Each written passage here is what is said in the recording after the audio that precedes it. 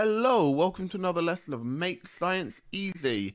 We're carrying on with the biology course. I hope you're enjoying it so far. I hope you're learning a lot. And today we're going to be learning about the topic of plant nutrition. Plants get their nutrition through the process of photosynthesis. Now, if we break down what the word photosynthesis means, photo means light and synthesis means to make. So, photosynthesis literally means to make from light, which means plants make their own nutrients, at least in terms of their food, what they get their energy from. Photosynthesis occurs mainly in the palisade cells in the leaves. These are found at the top of the leaf.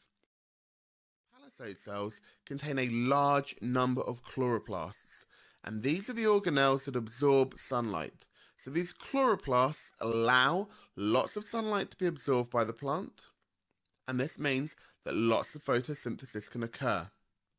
Chloroplasts also contain the green pigment called chlorophyll.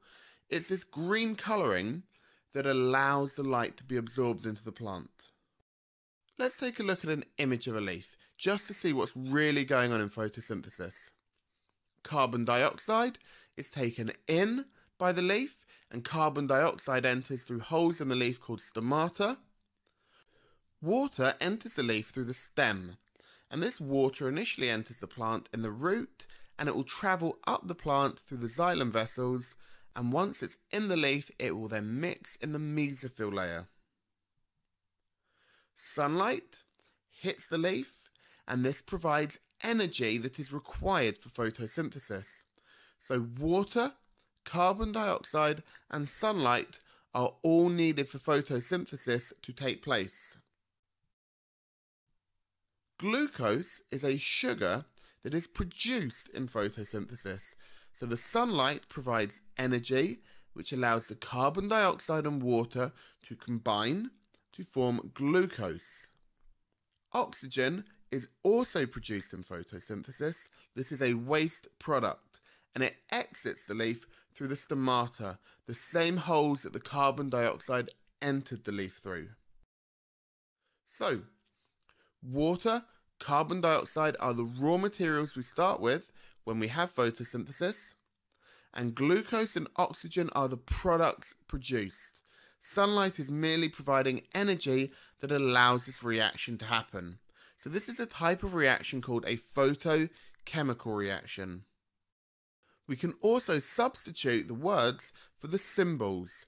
So, water is H2O, carbon dioxide is CO2, Glucose is C6H12O6 and oxygen is O2. Knowing the chemical formula for each substance in photosynthesis allows us to construct symbol equations which are very useful because they can explain what is going on in the reaction. Our word equation for photosynthesis is as follows. Carbon dioxide plus water makes glucose plus oxygen.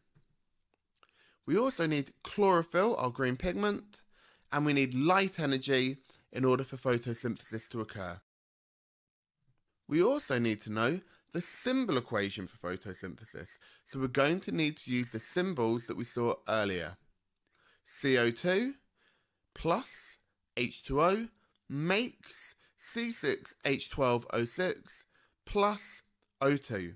I'm sure you've heard me say this in other lessons, but I'm going to point it out again. The arrow means a chemical reaction has occurred. The arrow is not an equal sign. In a chemical reaction, new chemicals are made. These chemicals are different from the chemicals that we started off with. So it is never an equal sign. We use an arrow to represent that a chemical reaction has occurred. So our reactants, carbon dioxide and water, our products, glucose and oxygen. Now, we want to balance this equation. We want to make sure that we have the same amount of each element on each side of the reaction. So we should have an equal number of carbon atoms before and after the reaction, an equal number of oxygen atoms before and after the reaction, an equal number of hydrogen atoms before and after the reaction, And this is because there is a law of science that tells us in a chemical reaction we cannot create or destroy matter. We can only change it. So there should be the same number of atoms before and after the reaction. This will give us a balanced equation. So, on the reactant side we have one carbon. On the product side we have six carbons. On the reactant side we have three oxygens. On the product side we have eight oxygens. And on the reactant side we have two hydrogens. And on the product side we have 12 hydrogens. So we can see that nothing is balanced. We need to balance this equation. Now, I can only change the number of molecules that each compound has. So I cannot change it to be C6O2 for carbon dioxide because that creates a different compound. I can change the number of carbon dioxide molecules but I cannot change the chemistry of carbon dioxide. I can see that I have one carbon on the reactant side and six carbons on the product side. I know that one fits into six six times. I have three oxygens on the reactant side and I have eight oxygens on the product side. I know that three does not fit into eight. So I'm going to ignore oxygen for the time being. Hydrogen as well. I know that I have 2 on the reactant side and 12 on the product side. 2 fits into 12 six times. So I now know that carbon and hydrogen I can make balance quite easily. So I'm going to balance hydrogen first because it's a very easy element to balance. I place a number 6 in front of H2O. This means I have 6 molecules of water. So I have 6 times 2 hydrogen atoms. So I now have 12 hydrogen atoms. I have 6 times 1 oxygen atoms. So I have 6 oxygen atoms in water and I have 2 oxygen atoms in the carbon dioxide. So I have 8 oxygen atoms. So I can now see that my hydrogen and my oxygen are balanced. This is good. This is what I want. My carbon is not balanced. So, I place a number 6 in front of carbon dioxide. 6 times 1 carbon is 6 carbon atoms. However, I'm also multiplying 6 by O2, which is another 12 atoms. So I have 12 oxygen atoms in the carbon dioxide and 6 oxygen atoms in the water. This gives me 18 oxygen atoms. So my carbon is now balanced and my hydrogen is now balanced. My oxygen is not. So I take a look at my numbers. I can see I have 18 oxygens on the reactant side and I have 8 oxygens on the product side. I also notice that I have 6 oxygens within the glucose and two oxygens as elemental oxygen. It is always going to be easier, and in fact, it's the only way that's possible, to balance the elemental version of oxygen because then I'm not changing the number of carbon and I'm not changing the number of hydrogen. So I know that six of my oxygens on the product side must be kept in glucose. 18 minus 6 is 12. So I need to create 12 oxygen atoms on the product side. And the easiest way to do this is to multiply O2 by 6. 6 times 2 is 12. So I now have 6 oxygen atoms on the glucose and I have 12 oxygen atoms in the oxygen. 6 plus 12 is 18. I have now balanced the reaction for photosynthesis. The complete symbol equation is 6CO2 plus 6H2O makes C6H12O6 plus 6O2. Leaves have got lots of adaptations that allow them to complete photosynthesis. One of the most obvious adaptations is that leaves are broad, so they can absorb a large amount of sunlight. The more sunlight a plant absorbs, the more energy it gets, and the more photosynthesis that can occur. If we look at a cross section of our leaf, we can see the different layers. We have the cuticle at the top, followed by an upper epidermis, a palisade mesophyll layer, a spongy mesophyll layer, and a lower epidermis. We also have something called a stomata, which is a hole in the underside of the leaf that allows water out and oxygen out of the leaf and carbon dioxide into the leaf. And we have something called a vascular bundle that contains xylem, which carry water up the plant, and a phloem, which carries substances required by the plant either up or down the plant, and the movement of substances around the plant is called translocation. Now, the palisade layers contain the chloroplasts. There are chloroplasts in other parts of the leaf, but it is mainly in the palisade layer. And you'll notice that the palisade layer is close to the top of the leaf. This means that it gets lots of sunlight and has lots of chloroplasts, so it can use that sunlight for photosynthesis. The spongy mesophyll layer, which is the layer below the palisade layer, has lots of air gaps. This allows gases to mix. Carbon dioxide from the atmosphere will mix with oxygen produced by the plant, and this carbon dioxide will be used in photosynthesis.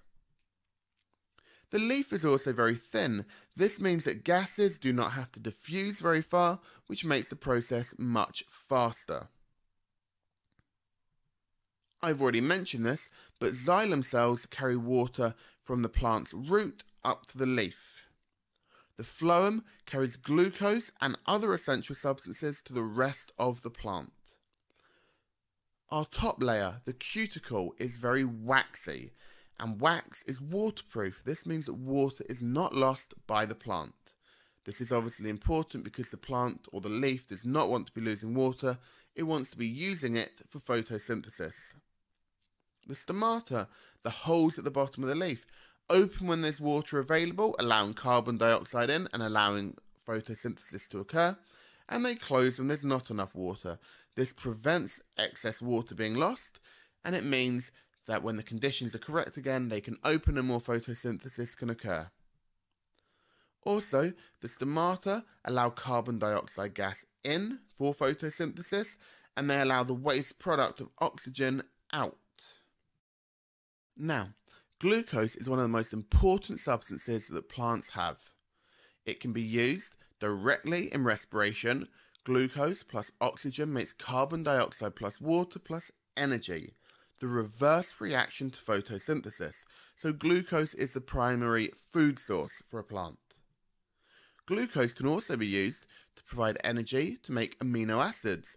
Amino acids can make protein. Protein is required for growth and repair in a plant. Glucose is used to make cellulose. If you join lots of glucose molecules together, they form starch. Starch can then form cellulose. Cellulose is essential in plants because it's used to make the cell walls.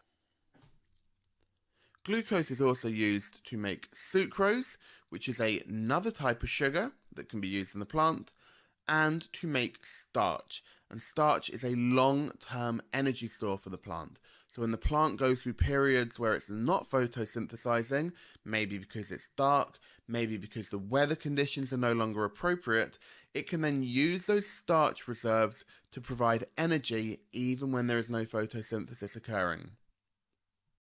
It is possible to test the plant to see if any photosynthesis has occurred, and it's actually quite easy to do. So any plant that's recently been photosynthesizing will have converted some of the glucose into starch. When we test to see if this has happened, we first of all actually need to remove any chlorophyll from the plant.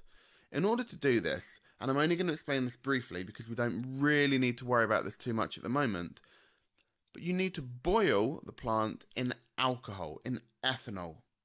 This will remove the chlorophyll from the plant, leaving a white leaf. We can then test the leaf using iodine solution. Iodine solution is normally a brown or red colour. However, when it comes into contact with starch, it will turn to a purple or black colour. The more starch is present, the darker the colour will be.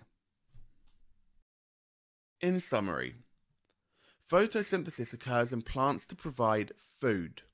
Leaves have numerous adaptations to allow photosynthesis to occur. Photosynthesis needs carbon dioxide, water, and light energy to happen. It takes place in the chloroplast, which are found in the spongy mesophyll layer. The reaction is carbon dioxide plus water makes glucose plus oxygen, or 6CO2 plus 6H2O makes C6H12O6 plus 6O2. And plants use glucose for many purposes, including respiration for energy, storage, and growth. And iodine solution turns black if placed on a leaf that has starch present. I hope that you've understood the vast majority of this stuff. I hope it's been enjoyable. Remember, keep on doing your quizzes, keep on using your resources, and until next lesson, keep learning.